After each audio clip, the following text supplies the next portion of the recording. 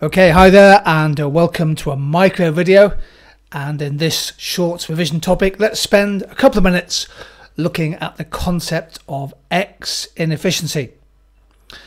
X inefficiency was first mentioned by the economist Harvey Leibenstein in the mid 1960s and uh, typically we use the term X inefficiency when analysing cost in imperfectly competitive markets such as monopoly, duopoly and oligopoly.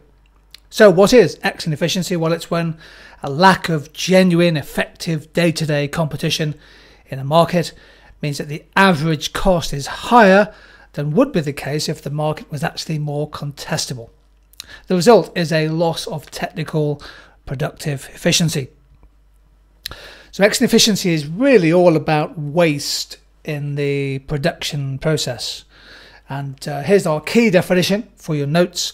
X inefficiency exists when any organisation incurs higher costs than are necessary to produce any given output. A business, an organisation is not producing or supplying in the cheapest, most cost effective way.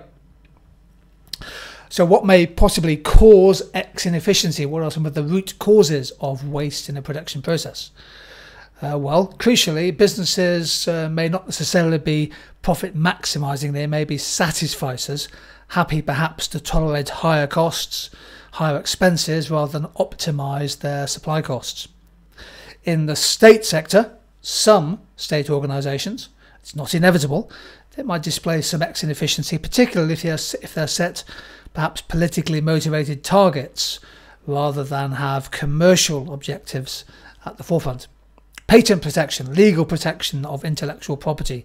That might lead to some X inefficiency because if you have a patent, some sort of legal protection on a business idea, that can lead firms to believe that they're immune from day to day competition, perhaps for a decade or more.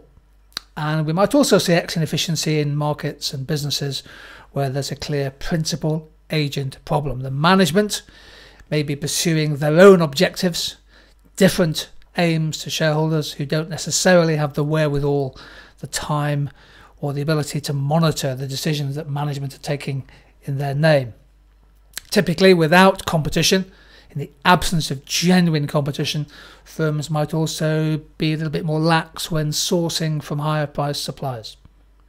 Essentially, to capture the essence of it, the absence of the profit motive might, repeat, might take away some of the incentive to control unit costs.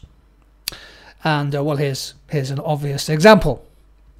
So how do we show X inefficiency in a diagram? Not too difficult, not too complicated. If we think about cost per unit on the y-axis and output on the x-axis, here is a typical unit cost curve with some scale economies and then you reach a minimum efficient scale and perhaps some diseconomies of production.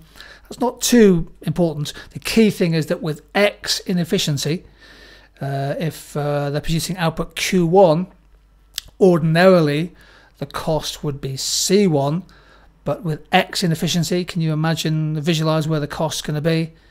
It's going to be higher with X inefficiency. So if you're producing Q1, your unit cost might be C2 instead of C1 and that difference, that vertical distance, essentially is the wasteful extra cost from so-called productive slack. Consider the impact of that on the profitability of the firm and the returns to the equity owners of the business, the shareholders.